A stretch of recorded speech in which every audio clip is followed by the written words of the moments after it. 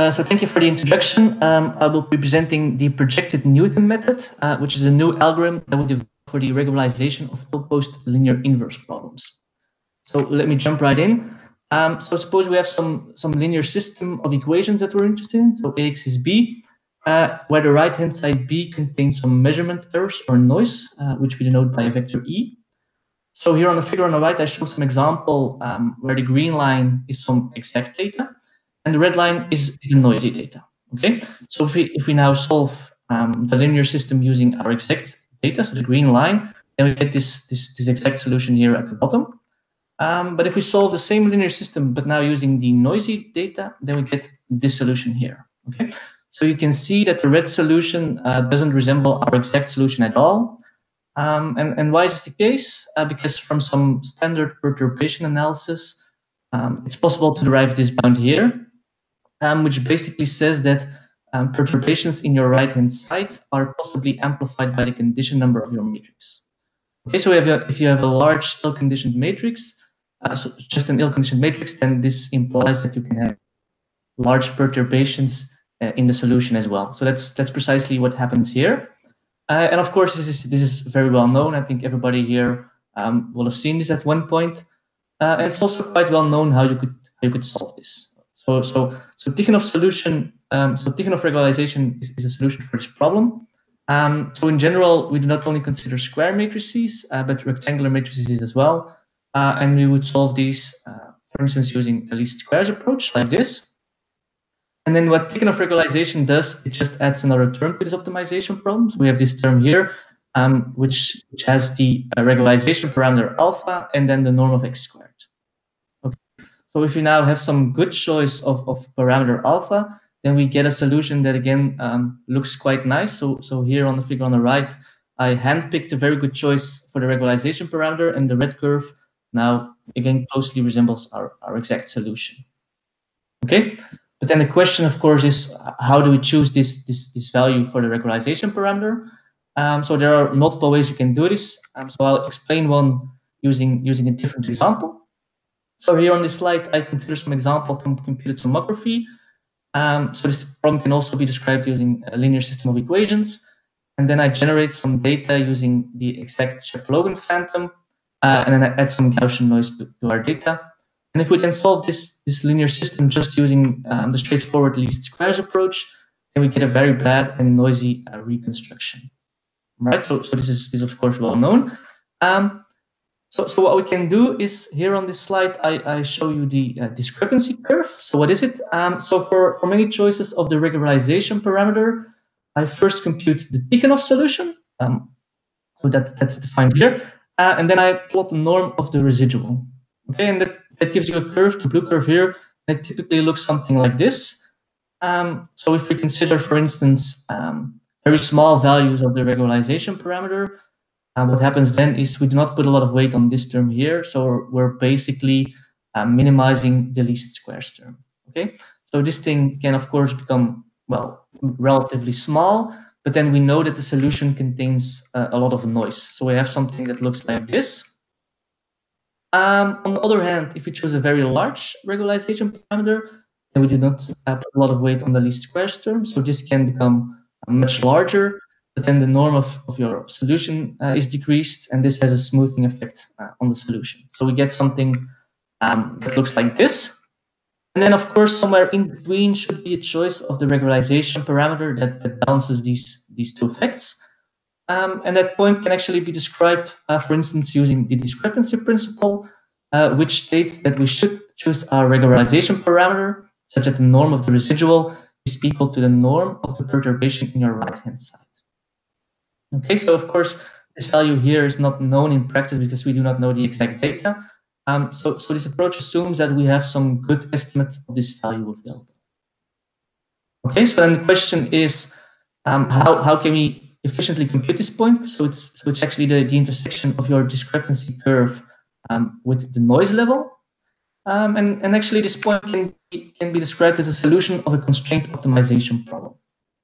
Okay, so, so if you consider this optimization problem here, so the constraint is, is precisely the discrepancy principle. Uh, and our objective function is the regularization term. And then if we apply some very standard Lagrangian duality theory, then we can um, write down the optimality conditions of this optimization problem uh, as a nonlinear system of equations defined by this function f here. Okay, so this, this lambda parameter is the is Lagrangian multiplier. And if you take a closer look at this function here, so the second component is, is just your constraint. So that expresses uh, the discrepancy principle.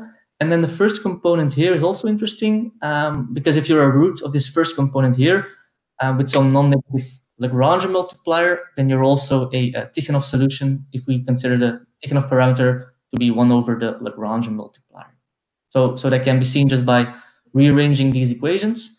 Um, and it's also possible to show that actually these do not only can uh, express the first order of the optimality conditions, but there are also conditions for this problem here. So what this means is that um, if we have solved this, this system of nonlinear equations by, by this function here, then we've actually found the point that, that we're interested in. Okay, so solving a nonlinear system of equations, I think most of you will think immediately, okay, let's use uh, Newton's method. But Newton's method is, in this case, not very efficient. Um, so let me explain that. Of course, it's an iterative method, so we have to start from some initial point, um, and then we generate a sequence of iterates like this. So we take our previous uh, approximate solution, so for the x variables as well as the Lagrangian multipliers, and then we add the Newton uh, multiplied by some suitably chosen step length. And, and, and the Newton step um, can be computed by solving a linear system of equations. So, so this matrix here is a Jacobian matrix. Um, and, if we, and if we have a lot of variables, then this is a very large linear system. Uh, and then we would need like a Krylov subspace method to solve this thing.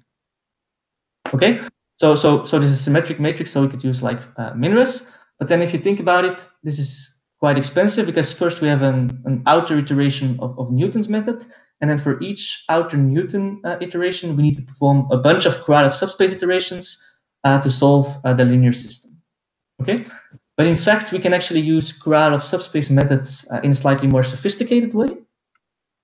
Uh, and to do so, I will take a look at the bidiagonalization algorithm.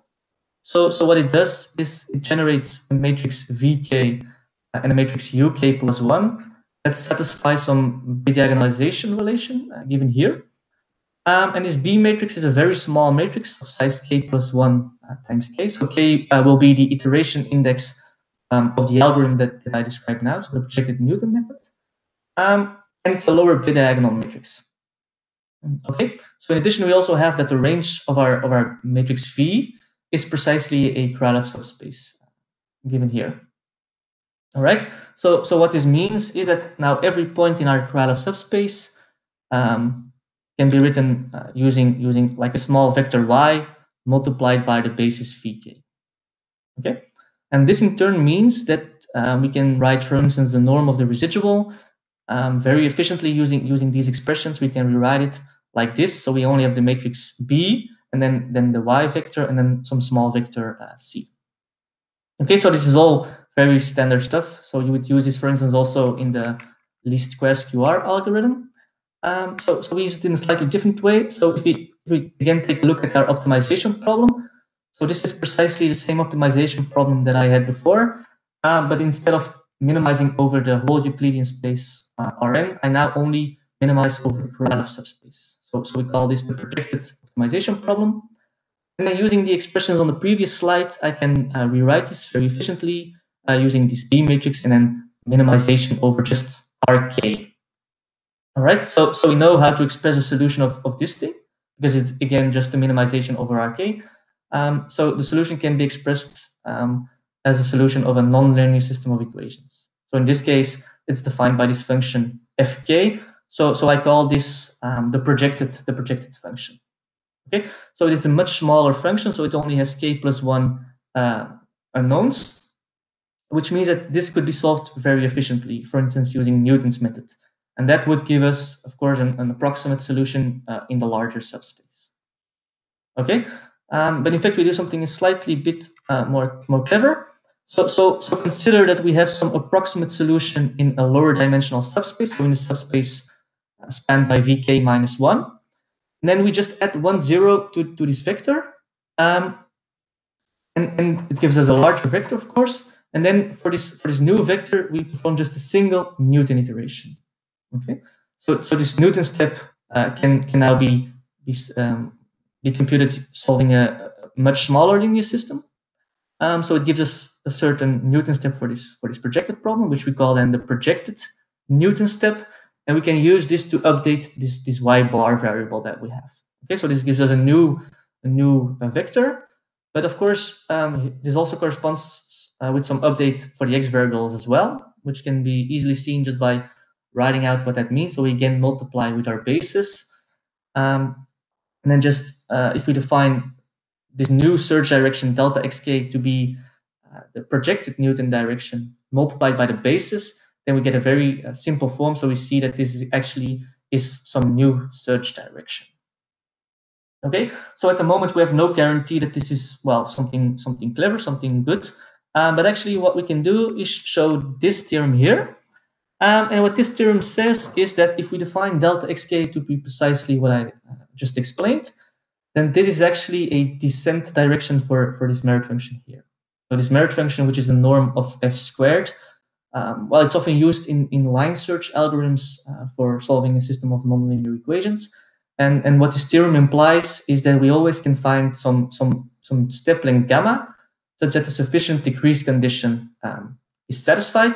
And this actually um, makes sure that we that we make progress towards towards the solution. Okay, so that's actually basically enough um, for, to, for us to, to, to formulate the projected Newton method. So, so what we do is we have some Krylov subspace basis. We, we look at the projected problem uh, and we just perform one single Newton iteration for the projected problem. But then, of course, we also have a search direction in the larger space. And then we use this search direction um, with some backtracking line search to, to, to get uh, closer towards the solution uh, with the sufficient decrease condition. All right. And then we check, okay, is the solution accurate enough? And then if not, then we just expand our Krylov subspace basis and keep iterating uh, like this. Okay, so, so it's actually basically uh, very simple and, and it also works quite nicely. So here uh, I show two figures. Uh, so it's the same experiment with the computed tomography problem from a few slides ago. And on the left figure, I show convergence um, on the discrepancy curve for two different choices of the initial regularization parameter. And you can see that, that they both converge nicely towards the intersection point of our discrepancy curve um, with the noise level. Okay, so, that, so it works very nicely. And, and on the figure on the right, I compare this, this new method just by using the naive approach uh, with Newton. Uh, and I compare the number, the number of matrix vector products. Um, and on the y-axis, I plot the norm of our function. And you can see that the projected Newton method converges uh, much, much more quickly. So it's pretty, pretty nice result. Um, but of course, Tikhonov regularization has its has its uh, limitations. So we would like to do some more more uh, fancy stuff. So so one thing that we want to do is, for instance, use some kind of regularization matrix um, that expresses, for instance, a finite difference operator, or uh, we would like some some sparsity inducing regularization term uh, and stuff like that. Um, and actually what we can do is we can extend our approach to solve problems of this form here, where we have some general um, convex and twice differentiable uh, regularization function.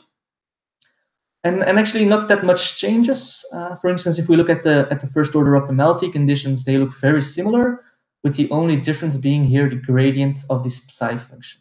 Okay, so, so this causes some troubles um, because we can't simply project it on a Krylov subspace anymore because that doesn't work. Um, but in fact, if we if we project it on what we call a generalized a generalized Krylov subspace, um, then then things things again work nicely. So how is it defined? It's defined by evaluating the first component of our function in the previous iterates and then using uh, Gram-Schmidt to, to obtain some orthonormal basis. Okay, if we do that, then we can actually very similarly prove that if you have some uh, projected Newton direction, if you multiply it again with your basis, that we get some search direction uh, in a larger space that's that's a descent direction and, and everything generalizes nicely. Okay? So so we we have used this approach um, um, in sparsity um, reconstruction where we have some um, some sparse exact solution and and this this is achieved by um, considering some smooth approximation of the of the L1 norm um, and, and this also works quite nicely if we have some some good approximation of the absolute value function uh, and it looks like I'm running out of time. So let me quickly go to the conclusions. So, so let me lastly mention that, that we have some very interesting ongoing research as well, where we not only consider uh, linear inverse problems, but we are also starting to consider nonlinear inverse problems. And we have some very interesting initial results about that. So I hope to publish something about it very soon. And then I'll just finish here with some references. Thank you. Thank you very much. Um, I'm waiting if I see any questions. Not yet.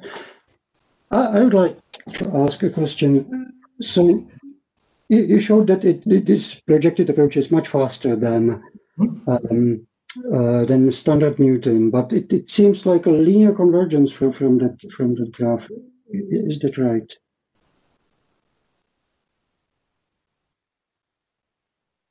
that can actually happen. Either your your Krylov subspace is all large enough to contain the solution of the full dimensional problem, and in that case, we would have we can actually we could actually observe like the quadratic convergence that that you would have had from Newton's method.